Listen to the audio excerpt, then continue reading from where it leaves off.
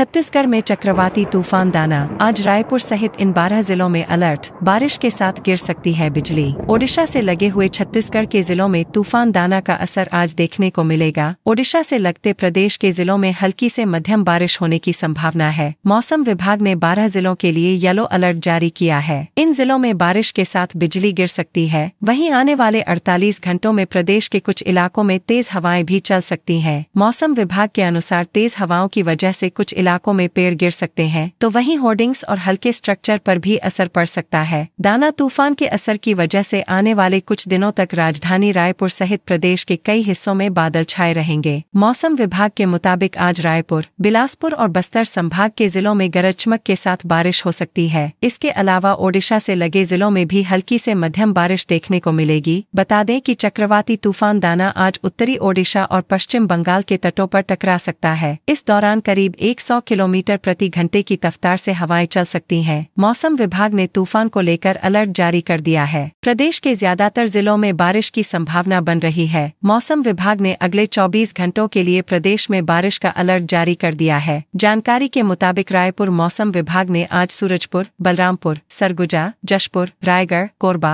जांजगीर चांपा, बलौदा बाज़ार, महासमुंद, रायपुर, धमतरी और गरियाबंद में बारिश के लिए ऑरेंज अलर्ट जारी किया है। वहीं कल कोरिया सूरजपुर, बलरामपुर, गौरेला पिंडरा मरवाही, सरगुजा, जशपुर, रायगढ़, कोरबा, मुंगेली, बिलासपुर, जांजगीर चांपा, बलौदा बाज़ार, रायपुर, दुर्ग, धमतरी और गरियाबंद में बारिश की संभावना जताई है। इसके अलावा छत्तीसगढ़ के अधिकांश जिलों में बादलों की आवाजाही लगी रह सकती है। कल रात को भी ओडिशा से लगे जिलों में अच्छी बारिश हुई है। मौसम विभाग का कहना है कि दाना का असर खत्म होने के साथ ही प्रदेश में गुलाबी ठंड दस्तक दे सकती है। छत्तीसगढ़ में सबसे कम तापमान नारायणपुर में दर्ज किया गया। यहाँ सत्रह डिग्री न्यूनतम तापमान रहा, वहीं कोरबा छत्तीस दशमलव चार डिग्री के साथ सबसे गर्म रहा। आने वाले दिनों में प्रदेश के और हिस्सों में तापमान में गिरावट दर्ज की जा सकती है। मौसम विभाग से मिली जानकारी के मुताबिक रायपुर में आज हल्के बादल छाए रहेंगे। देर शाम तक कुछ हिस्सों में गरज चमक के साथ बारिश हो सकती है। ज़िले में अधिकतम तापमान तैंतीस डिग्री सेल्सियस और न्यूनतम तापमान तेईस डिग्री सेल्सियस के करीब रह सकता है। प्रदेश में ठंड की स्थिति को लेकर मौसम विभाग का कहना है कि दाना तूफ़ान का असर खत्म होने के बाद प्रदेश के कई हिस्सों में तापमान में गिरावट देखने को मिलेगी। साथ ही अक्टूबर माह के अंत तक प्रदेश में गुलाबी ठंड की दस्तक हो जाएगी। तो ये था छत्तीसगढ़ में आज का मौसम और मौसम की जानकारी। साथियों, इस वीडियो को लाइक और अपने दोस्तों के साथ शेयर ज़रूर कीजिएगा। वीडियो देखने के लिए आपका बहुत बहुत धन्यवाद।